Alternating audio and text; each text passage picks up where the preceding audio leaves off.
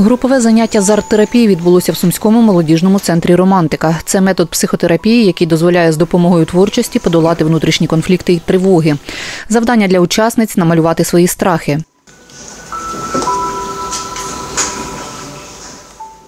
Анна живе в Сумах останні три місяці. Вона з Маріуполя. Розповідає, що зобразила на своєму малюнку. изобразила такой, м, как э, тревожная, э, повітряная тревога, А, вот, потому что после пережитого у меня сильно страх.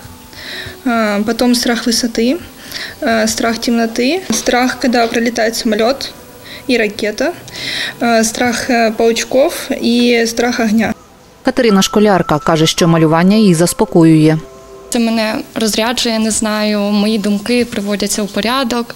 І особливо після початку війни я почала малювати картини по номерам і хочу в майбутньому пов'язати також свою професію з малюванням.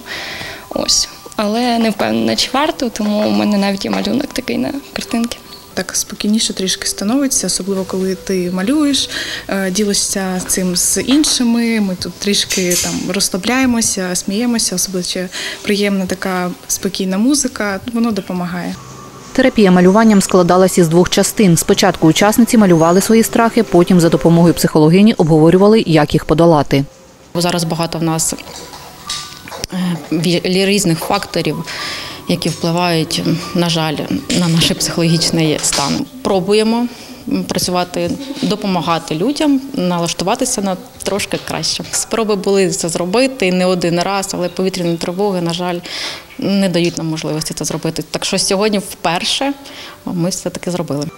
За інформацією Юлії Щербини, сеанси арт-терапії планують проводити щотижня. Про час їх проведення сповіщатимуть на інтернет-сторінці молодіжного центру Романтика.